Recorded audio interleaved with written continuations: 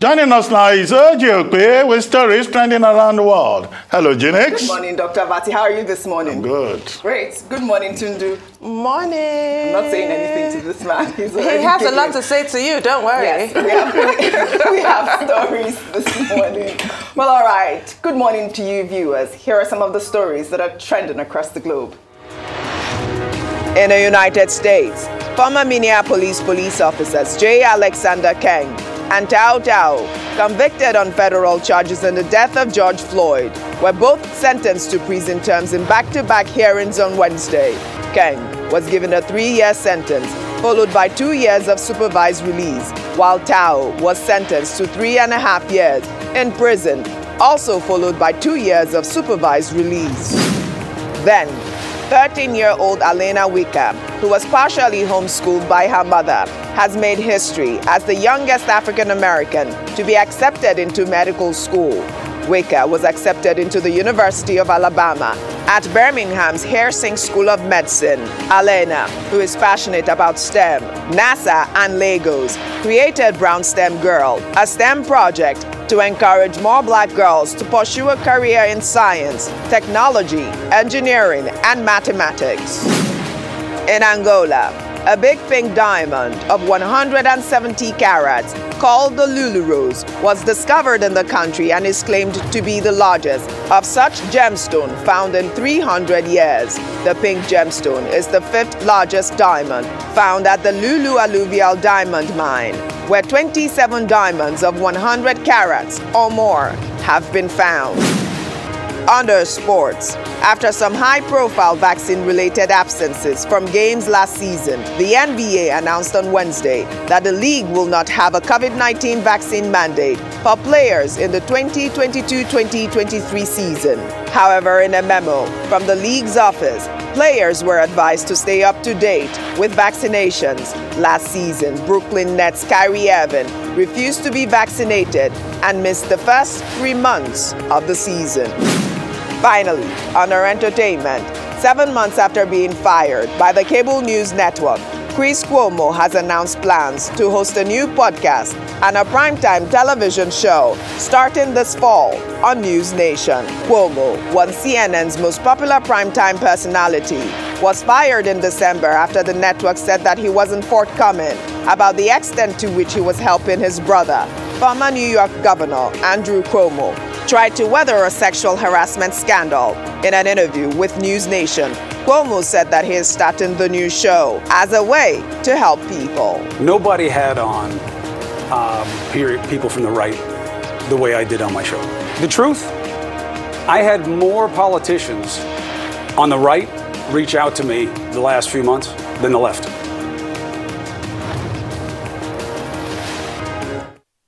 Well, let's begin what's trending. Presidential spokesperson Femi Adesina on Wednesday responded to senators who threatened to impeach President Muhammadu Buhari over the rising spate of insecurity in the country. During a live interview, Adesina said that the senators are wasting the country's time and that of the upper chamber of the National Assembly and described them as the minority of minorities. Adesina also dismissed claims of gunshots that were heard in Bwari, which triggered the closure of the federal government girls' college. On Wednesday, the People's Democratic Party legislators in the Senate staged a walkout after a motion by Minority Leader Philip Aduda was dismissed by the Senate President Ahmad Lawan.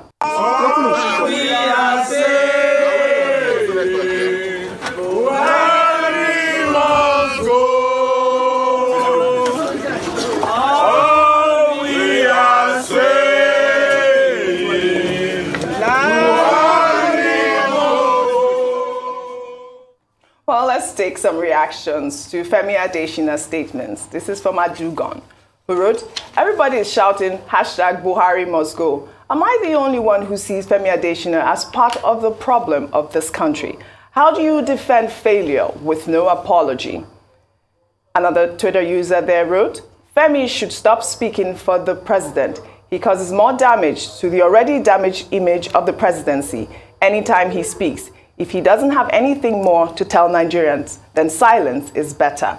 I, mean, I really liked this um, comment from this Twitter user because there was one part of that interview that I was shocked by the part that he talked about, well, those gunshots, they could have been from, you know, the military or the soldiers. Well, how do you know it's from terrorists? I mean, how do you say things like that, Tundu Abiola? It like makes your eyes water, doesn't it? I mean, what are you talking about? What is the difference between a terrorist gunshot and a soldier's gunshot? That means there is anarchy, There's a problem. There. Otherwise, there'll be That no the shooting. point. Yes, the exactly. school was closed down because of the gunshots. No, I think he does get the point. He's clearly not an unintelligent man. And I don't really like talking about individuals, but I think what happens when people feel they have a job to do and mm. be a spokesperson, they tend to require the rest of us to suspend our own intelligence, our own skepticism, and just buy whatever they're saying, hook, line, and sinker. And that's just not going to work this time. I've actually heard worse from Mr. Adesina, but this is not about him, and I just want to move away from him right now. I want to just talk about the fact that there's nothing wrong with what the senators are doing. Yes. Earlier on this morning, I was critical of the senators in the news segment because of the timing, because of the six-week um, ultimatum while they go on their recess. For me, that shows a lack of seriousness. I, I'm more comfortable talking about a group or an institution, such as the Nigerian Senate. It shows a lack of seriousness for me. If I tell you, OG, I'm, I'm going to deal with you, OG, but I'm just off on holiday, and when I'm back, I'm going to give you what for. You're going to get it. Of course, you're going to laugh in my face like you're doing right now. President Buhari is hardly quaking in his boots. If you're that serious, then cancel your recess and show us you're serious. Give him a, a one day, a one week, or just immediate action, demand immediate action. And the other uh, issue that I have with what Mr. Adesina said, not that I'm yeah, talking about him personally, I don't like to do that, is the Constitution allows for the senators to act in this manner. Yes. So this has got nothing to do with anarchy. This is exactly the opposite of anarchy. This is order. The Constitution guarantees checks and balances so that the legislator can check executive excesses, can check executive inaction, lapses, as they're trying to do now. And if it's constitutional, it cannot be said to be any form of anarchy. And we're, we're no longer in the military regime. You cannot pour contempt on people exercising their constitutional rights to demand an impeachment. Whether or not they will actually go as far as they ought to is remains to be seen, but they are within their rights granted by the Nigerian Constitution. Well said, Tundu Abiola. Dr. Batin. Okay, yes, uh, well, you brought the uh, statement from uh, Femi Adesina, but just to uh, paint a fuller picture, it, it's not only Femi Adesina that has responded. Yeah, Femi Adesina talked about anarchies. It, he said, you know, these are minority of minorities. And uh, also, uh, his colleague, Garuba Shehu, uh, said that this is performative and babyish and that nothing will come out of it. And the Minister of Information was quoted as having said that, well, this is just mere propaganda and it is laughable. Well, all of these statements, I think Senator uh, Ogunlewe, you know, helped us to resolve it. When he said, these persons are doing their job. What do you expect them to say uh, in the public domain? They've all been recruited as spin doctors, and they are not likely to join a crowd uh, to, uh, you know, attack uh, their principle of the government in which they serve. Uh, I guess that's the way the cookies crumble in that regard.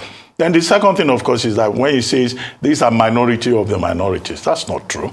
You know, because there were also members of the APC. Yes. They were part of this uh, protest. Uh, uh, Senator Adamu uh, Bulkachuwa from uh, Bauchi North, you know, was uh, part of that. Uh, was part of that uh, protest, and he's a member of the uh, All Progressives uh, Congress. There are probably more members of the All Progressives Congress, uh, you know, who have not yet uh, come forward uh, publicly, but who are part of that two-hour closed-door meeting uh, that has been referred to uh, by uh, Senator Eyinaya Baribe, uh, Abga, uh, Abia South, he's from Abia South, you know, referred to that, look, it was inter-party, you know, so there was nothing partisan about it.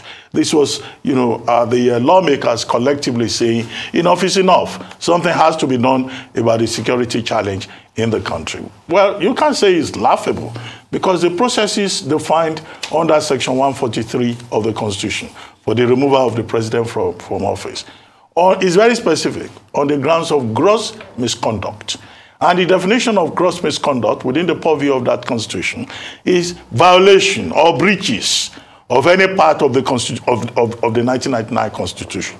And if it can be proven that the president has violated any part of the constitution, then they have a strong case. In fact, the constitution goes further in that section 143 to say gross misconduct means what in the opinion of the lawmaker constitutes that misconduct. So in other words, the, the uh, lawmakers, they don't even have to offer anybody any explanation. They can just decide and say, well, this man stands guilty of gross misconduct. But to uh, ensure fairness and justice, you know, uh, sections uh, in that uh, part of the Constitution provides opportunity for the president to defend himself. And if any uh, president is removed from office in that, uh, in that Constitution as it stands, as a basic law, the, the court of law cannot inquire into it. But would they get to that point, given the constraints of time, given the very stringent conditions in that constitution, given the fact that this is predicated on the uh, supremacy of numbers, and also the fact that you have to look to constitute a panel, you know, you have to look for men of unquestionable integrity. Well, I don't know you know, how many of such men, you know, Nigerians will be able to put together. In fact, the battle that will be fought over the composition of that panel alone will go beyond the 2023 uh, general election, given the type of country in which we have uh, found ourselves. But the uh, presidency should see this as some kind of wake-up call, uh, as an expression of uh, lack of confidence in the ability of the government or the administration to deal with a specific challenge that has resulted in a situation whereby the whole of the FCT, Federal Capital Territory, has asked schools to shut down. Yeah. Parents are rushing to schools to Terrible. go and pick their children. People are running away from parts of Abuja, right? And Abuja is supposed to be the most guarded, most secure part of the uh, country because that's where you have the seat of the government. That's where you have a special unit called the Brigade of Guards. Six men from the Brigade of Guards were killed along the Buhari uh, Kuba Road. Uh, the, these uh, lawmakers, uh, one of them, in fact, said, uh, look, uh, that's Ndidi Elumelu. He told them, he said, please let, let us all go back to our constituencies. This FCT is no longer safe. So the lawmakers themselves are running away. And I raise the question whether they will, they will be secure in their constituencies that they are running to. So they, they, they, they, they, they, they've taken flight from Abuja, you know. But if the problem remains, they will still have to go there to go and justify the fat allowances and salaries that they are collecting so that they work for it. So if they run away, what, what should the rest of us do? Well, right. Should we run away from Lagos too? No, I'm not going anywhere. Okay. well, all right. We shall take another story a Babcock University orientation brochure for first-year students which use euphemisms to describe parts of the human reproductive system has gone viral. Two pages from the brochure describe semen as the male's choice seed that guarantees the preservation of the future, while the vagina was described as the lady's sealed parcel of land that must be exclusively preserved for the king's cultivation in marriage. Well, there are mixed reactions on social media. Let's take a tweet from Jessica, who wrote, We don't take sex education seriously in this country. Everything is held to some religious or moral standard. It's deeply annoying. Tundu Abiola. Over to you. What kind of lurid purple prose is that? From a citadel such as Babcock, I'm horrified. And you know what? Over to you. Dr. Bati, we're all waiting well, for your analysis. Babcock University is, uh, you know, a seven-day Adventist uh, school, right? Where morality is uh, placed on a very high pedestal and very strict rules have been introduced. But what we're talking about here is sex education. Yes. And semen. Is that not sperm? Right? Uh, the female organ, that's the uh, vagina. Now, what is this roundabout, you know, verbose way of putting it? At the level of style, it fails. What we were told by uh, in the book uh, Elements of Style by uh, E.W. Strong is that where one word can serve your purpose, don't go and use 10 words. so first, at the level of style, this fails the test, okay? The rule is to just keep it simple. You want to refer to uh, sperm, you are saying uh, uh, the fertilizer that, uh, uh, the maize choice seed that guarantees the preservation of the future. Look at so many words, you know, so that in itself you know, it's very strange. Then uh, the woman's uh, private uh, organ is referred to as uh, the, the lady's special parcel of land that, that, uh, that must be exclusively preserved Right. for the king's Cultivation. cultivation. I mean, what kind, of, what kind of language is that? Well, I hope uh, the authors of that document, because I saw two names Yeah. on the uh, author's uh, page, uh, Prince Fowowe and uh, Augusta Oloye. Well, these are the people whose names are at the back of that uh, document. I hope they realize that the parcel of land that they are talking about, parcel of land under Nigerian law, Land Use Act of 1978, is to be held in trust by the state governor.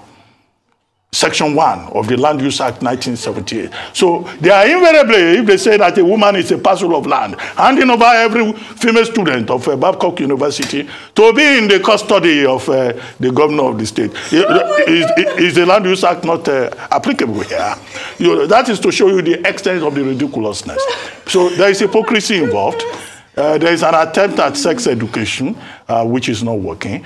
Uh, I checked out uh, Prince Wowowe. He's actually a consultant in sex education, you know, and he has a center for sex education. But, but, uh, this uh, style, you know, of communication, I find it odd.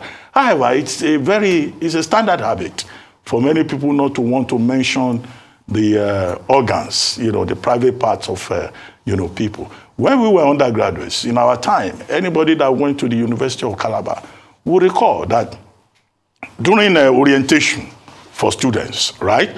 Uh, the vice chancellor then, uh, Professor Emmanuel uh, Anyodele, you know, he would tell uh, students that, uh, look, you are here to study, but that anybody that ventures to peruse the internal anatomy of a female Homo sapien goodness. will be summarily dismissed from the school. look at it. or if you don't want to be uh, if, you, if you don't want to be dismissed you the peruser must marry the perused so quite, so this oh the perusi must marry the perused You know, I needed to bring up this story.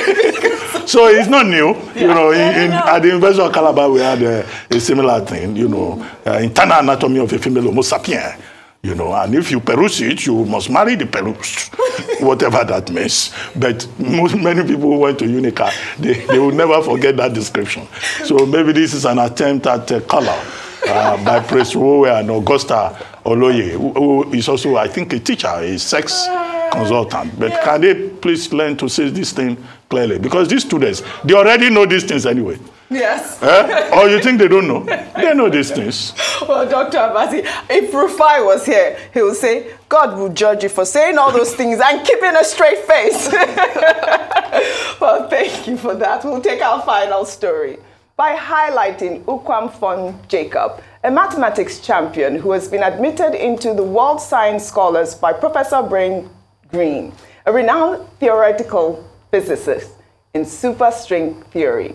Jacobs, who is from Akwa Ibom State, is a student of Graceland Secondary School in Port Harcourt. He is said to have clinched over 20 medals in various math competitions globally. Many Nigerians have reacted to a photograph of Jacobs wearing his medals. Some referred to him as the mathematics wizard. Jacob is currently on his way to Ghana for a research program. I mean, I am so proud of this young man, Tundu Abiola. 20 medals, different countries that he has won all these competitions. Nigerians are making us proud. We are really doing good if only we are afforded the opportunity to continue to strive the way Jacob has done. We're truly gifted in this Yeah. country, but even among a nation of gifted people, Master Jacob here stands out. I Yes. mean, this is a legend. Yes. He looks like Michael Phelps with all those medals. Medals. And it's extremely impressive because personally, I can barely do basic arithmetic. So I cannot imagine the kind of brain in his head. He's a genius. Yes. Congratulations. I'm so glad he's been recognized. Thank you, OG, Yes. for highlighting this I story. needed to. Dr. Abati, Well, Oji, uh, thank you for bringing at least one happy story. two happy stories, I hope so. So, and this week we've had uh, Tobi Amusan, Yes, we've had to Ese Toby, Brume, and now you have uh, Mfon Jacob, you know, uh, a country of diamonds, of gifted people, geniuses. There is another family in the UK, is it the Imafidon family? you know, whose uh, children, you know, excelled, you know, uh, to the admiration of everyone in the world. And you have them everywhere, young people. The thing to do is to encourage these young people, give them the opportunity to shine, to flower, and for the leadership in Nigeria to at least make sure that the, the, the future generation, the emerging generation, would have a country that they can be proud of. Because the more important thing is for uh, you know, Jacob to grow up and be able to say, I'm a Nigerian and I'm proud to be a Nigerian. But Nigeria, like I, I usually say, I, I, like Ireland in the, uh, at the turn of the 19th century, is increasingly becoming a provider of talents for other uh, jurisdictions. When people cannot progress here, they cannot flower here, then they go and become assets to other countries. We hope that the country would uh, reach a point where people like Jacob can excel at home and uh, flourish. No, thank you all for your great analysis as always. Well, that's all I have for you on What's Trending today. I'll see you tomorrow.